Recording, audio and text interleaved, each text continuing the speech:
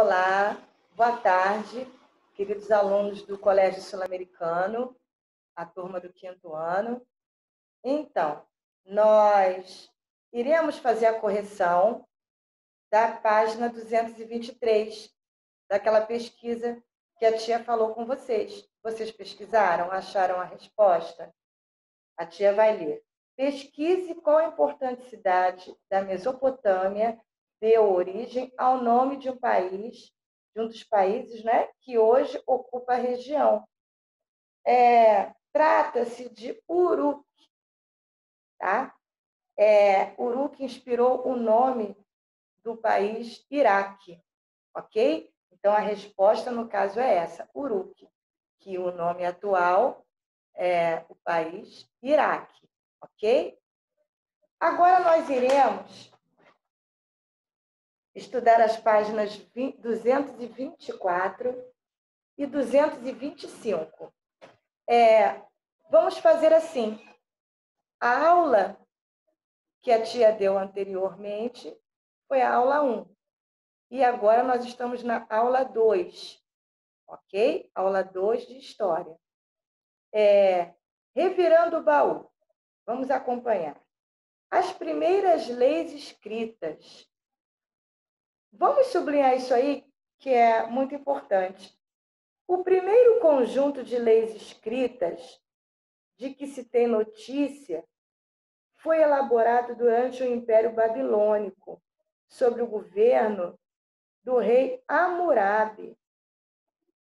Por esse motivo, é conhecido como Código de Hammurabi, foi a primeira lei escrita.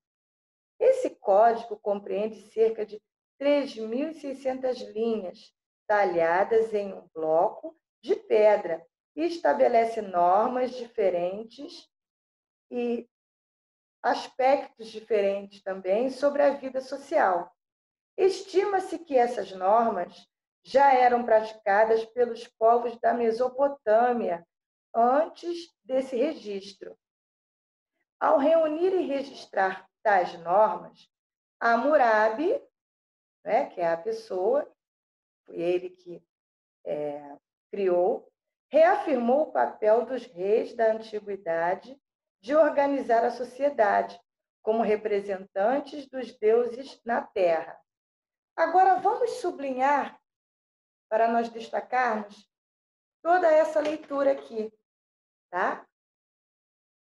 O Código de Hammurabi tornou-se muito conhecido por possuir leis que se baseavam no princípio de Talião, ou princípio da justiça, segundo o qual todo castigo deveria ser equivalente ao ato que o gerou. A expressão que simboliza esse princípio é olho por olho, dente por dente. Ainda havia alguns casos em que existia a possibilidade de apenas ser paga na forma de recompensa econômica. Essa lei, olho por olho, dente por dente, no caso, era bem clara o que acontecia. Se uma pessoa roubasse, a mão dela seria cortada. Quem fere com a espada, na época feria com a espada, com a espada também seria ferida a pessoa. Ou seja, a lei era bem rígida mesmo. É, aqui nessa gravura, a gente observa o que ela significa. O bloco de pedra de mais de dois metros de altura, em que foi registrado o Código de Hammurabi. Foi encontrado em Susa, no Irã, no início do século XX. Hoje ele se encontra no Museu de Louvre, em Paris, na França. Ok? E aí, continuando, a página 225. Leia um trecho do Código de Hammurabi. Eram muitas leis. É, se um arquiteto constrói para alguém, e não o faz solidamente, e a casa que ele construiu cai e fere de morte o proprietário, esse arquiteto deverá ser morto. Observem como a lei era bastante rígida. A próxima de baixo. Se fere de morte o filho do proprietário, deverá ser morto o filho do arquiteto. Ou seja, olho por olho, dente por dente. Outro exemplo aqui da lei. Se mata um escravo do proprietário, ele deverá dar o proprietário da casa escravo por escravo. E essa última aqui, porque o livro só é, está apresentando quatro, mas tem muitas, né? Tinham muitas. Se destrói bens, deverá indenizar tudo que destruiu. E por quê? Não executou solidamente a casa por ele construída, assim que essa é abatida, ele deverá refazer a sua custa a casa abatida. Ok? Então, é bem rígida, não é? O Código de Hammurabi, as leis são bem rígidas.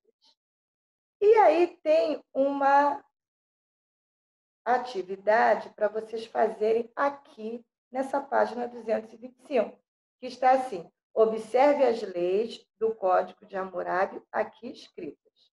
Marque de azul aquelas que eram regidas pelos princípios de Talião. Isso na letra A. E na letra B, marque de vermelho os casos em que havia possibilidade de a pena ser paga na forma de recompensa econômica. Ok? E aí vocês vão ler novamente e vão tentar fazer, que na próxima aula a tia vai corrigir. A número 2, com base no que viu no Código de Hammurabi, indique V para verdadeiro e F para falso as afirmações. Aí na letra A está assim: nas sociedades mesopotâmicas, havia homens livres e escravos. Aí vocês vão retornar à leitura para ver se essa frase está correta. Se estiver correta, é verdadeiro. Se estiver errada, é falso. E na letra B, a frase de baixo. Os escravos eram considerados mercadorias, podendo ser comprados, vendidos ou trocados. E aí vocês também vão reler, ok? A tia aconselha que vocês leiam tudo. E para fazer essas questões que estão aqui, releiam com atenção essas leis, ok? Que aí na próxima aula a tia irá corrigir. Até breve.